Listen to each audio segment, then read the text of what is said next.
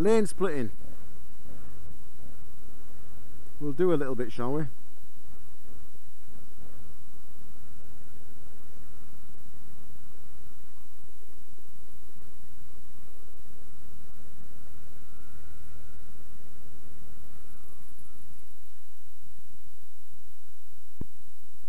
The thing about lane splitting,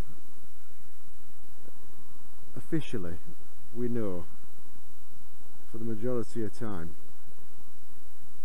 it's about getting to the front and getting on our way if we're if, if, if we're honest.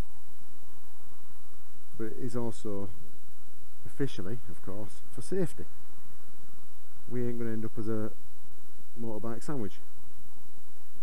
But when we get a situation now where they're going to go to green you might often get a situation where one of the cars goes faster than the other so what you can do is just stick with your middle line like that until you're happy which car's not racing. In that instance, both of them hung, up, hung back reasonably well. But you'll often get one that's going to be a bit quicker than the other.